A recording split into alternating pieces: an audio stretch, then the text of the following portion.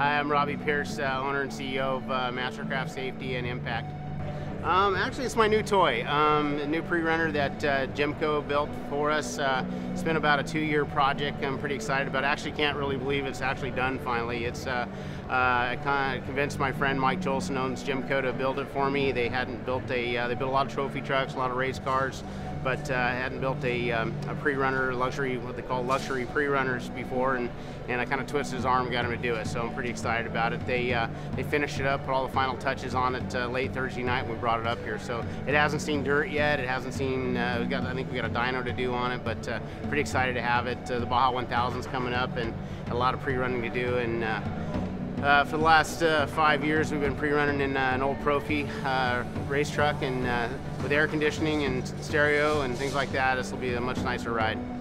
Well, um, hopefully the um, uh, we'll probably get about uh, a week or so this month in down in Baja and uh, spend my section uh, down there, and uh, then come the first of November, I'll spend uh, all of November up until the race day pre-running. So um, we got Rob MacCachren um, is going for a championship. He's leading the points, and we want to want to hold on to that. And uh, so uh, it's a pretty big race for us, and uh, want to be able to do my part. So I'll spend as much time as I can running my section.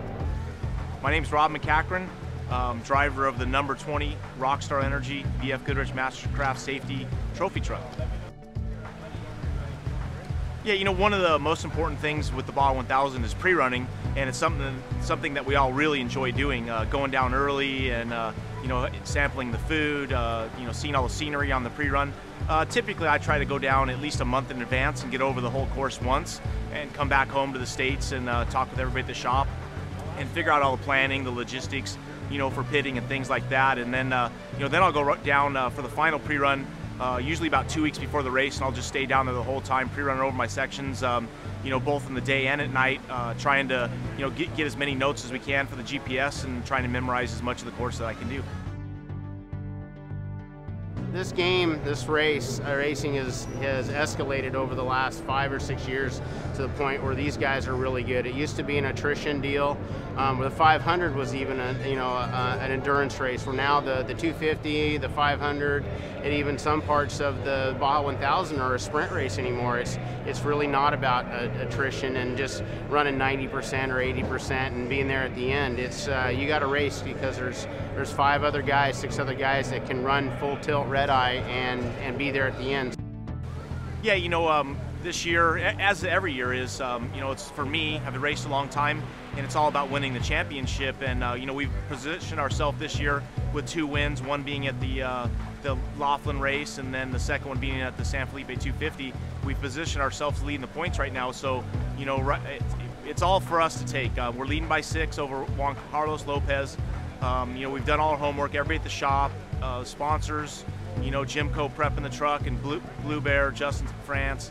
You know, they've all been uh, working all year long to try to win this championship. So it's very important, you know, for everything to come together. We did drew uh, number three off the line um, for the race. So that's the first thing that's, uh, you know, definitely helped is to start up near the front.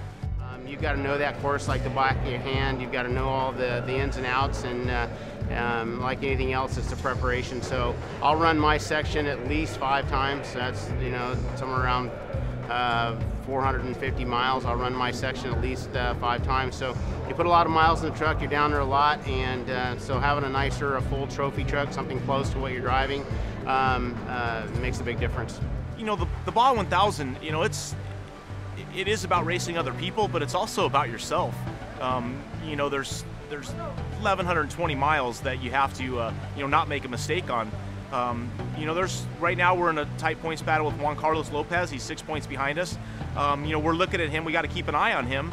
Um, but ultimately, you know, we're racing ourselves. You know, and as long as we do a good job, um, get down the road quickly, and if we've done all our homework at the shop and prepared the truck in the best possible way, then uh, you know the, the job will be accomplished.